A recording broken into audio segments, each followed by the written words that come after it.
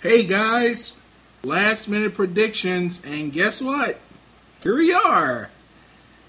Today is the day. I will be covering this event live. Check the links below. Predictions before the event. Slimmer design. I think front and rear facing camera. 512 uh, white version, carbon fiber version. SD card slot. What do you predict the new features are going to be?